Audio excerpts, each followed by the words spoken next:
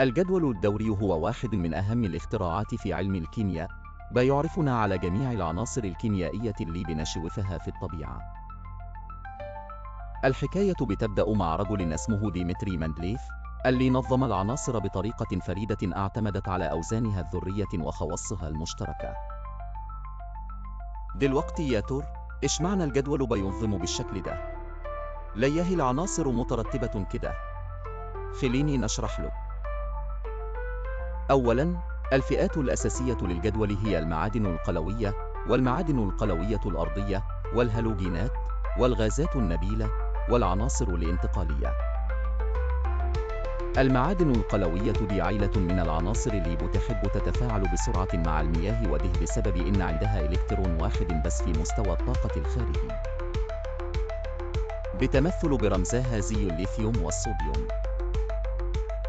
المعادن القلوية الأرضية عندها إلكترونين في مستوى الطاقة الخارجي وده بيخليها أقل شراسة في التفاعل لكن برضو نشطة زي الكالسيوم والمغنيسيوم اللي بنلاقيهم في الكثير من الأحجار. نيجي بقي للهالوجينات. اللي هي العناصر اللي مش بتسيب الفرق في الإلكترونات وبتحب تكتمل بسرقة إلكترون عشان تبقى زي أنيون والغازات النبيلة من ناحية الاستقرار. أما الغازات النبيلة فهي غازات مستقرة جدا وما بتحبش تعمل تفاعلات بسبب توزيعها الإلكتروني المكتمل مثل الهيليوم اللي بنستخدمه في البالونات والنيون اللي بيضوي إعلانات.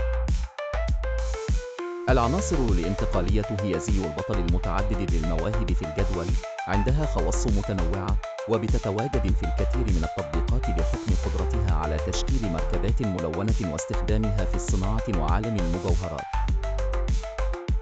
مندليف لما جه يعمل له الجدول كان ماشي بفكرة إنه يلاقي نظام يبين تكرارية الخواص بين العناصر وده برز في الطريقة اللي رتبها بيها.